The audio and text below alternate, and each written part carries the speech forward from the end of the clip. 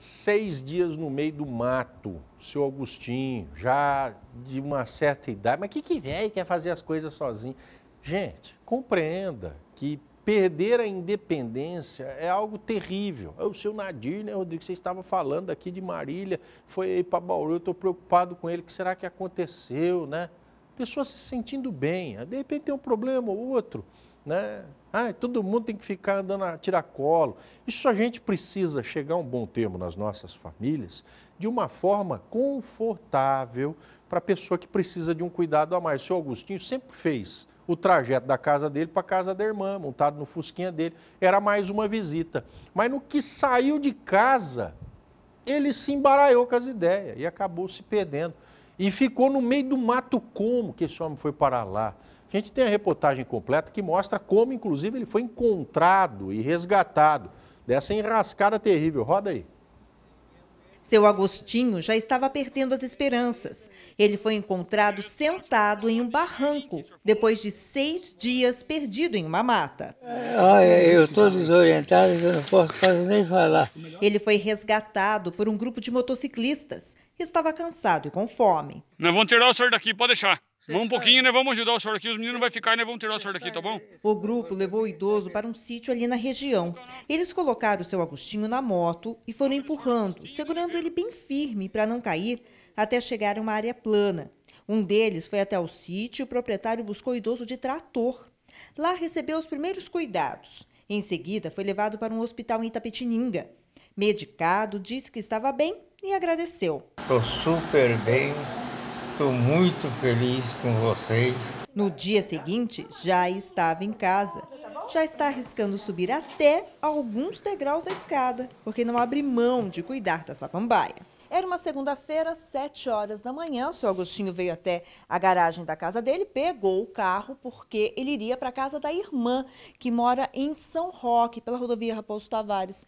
Aqui são 4 quilômetros de distância. Quando ele saiu pelo portão, chegou na rodovia, ele já não sabia mais aonde estava indo. Ao invés de pegar o sentido São Roque, ele pegou o sentido Sorocaba e chegou até Sarapuí, que fica a 80 quilômetros daqui. Quando ele chegou até lá, ele entrou para uma mata e ali o carro atolou. Ele já não sabia mais aonde ele estava, ele não lembra aonde o carro ficou, o carro até agora não foi encontrado. E ele, perdido, saiu sem destino. A mata fica entre Sarapuí e Itapetininga. É bastante fechada e perigosa. Seu Agostinho fez de tudo para sobreviver.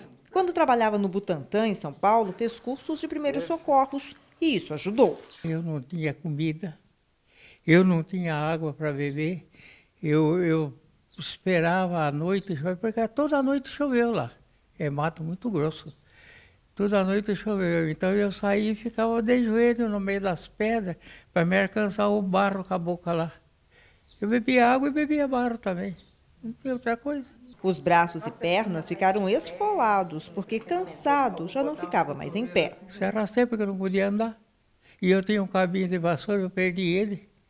Eu perdi ele, aí fiquei pior ainda.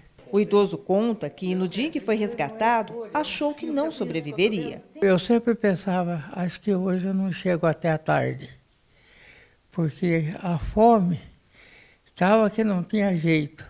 Ele ficou menos de 24 horas internado, estava subnutrido, mas já se recupera bem. A dona Teresa, casada com seu Agostinho há 40 anos, nem acreditou quando reencontrou o marido.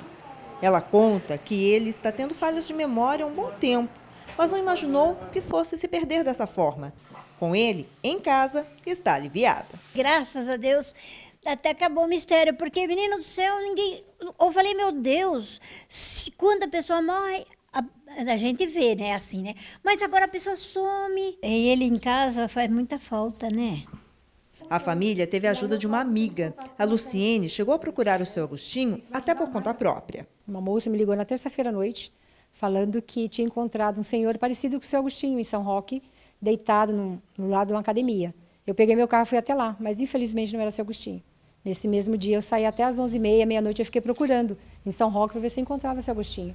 E infelizmente não encontrei. Todos estão agora aliviados. O seu Agostinho comemora estar vivo e agradece. Muito obrigado, todo aquele que ajudaram me salvar e tchau.